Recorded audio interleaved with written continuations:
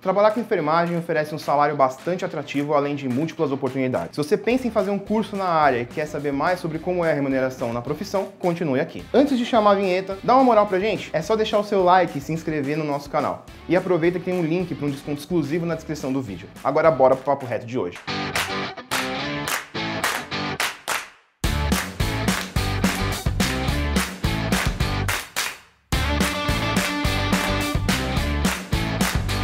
Em média no Brasil, um enfermeiro recebe em torno de R$ 3.400 por uma jornada de trabalho de 38 horas semanais. O piso salarial médio da profissão é em torno de R$ 3.100, com um teto salarial de até R$ 6.500. Existem diversos fatores que influenciam o salário médio do enfermeiro. Entre eles está a localidade. Assim, em função da região em que ele trabalha, esse valor pode sofrer muitas variações. Além da localidade em que ele trabalha, existe outro fator que impacta o salário do enfermeiro, o nível de experiência na área. Ou seja, o valor recebido difere conforme o tempo de atuação e as atividades atividades desenvolvidas no dia a dia da profissão de enfermagem. Com até 4 anos de formado, o enfermeiro júnior exerce funções menos complexas, que exigem menos tempo de experiência. O salário médio desse nível gira em torno de 3.300 reais, reais. Já enfermeiro pleno são enfermeiros com 4 a 6 anos de atuação profissional Devido a essa maior experiência, eles executam tarefas e funções mais complexas. Com base nisso, a média salarial do nível pleno é de R$ 3.800. Os enfermeiros com mais de 6 anos de atuação são classificados como nível sênior. Devido ao maior tempo de experiência, eles executam tarefas de maior complexidade e que exigem mais responsabilidade e autonomia. Com base nisso, a remuneração média gira em torno de R$ 4.500. E pessoal, esses números mudam constantemente, ok? Vale a pena conferir os dados atualizados aqui na descrição do vídeo. Além de contar com um corpo docente de excelência, aqui na Anguera tem diversos diferenciais aos nossos estudantes.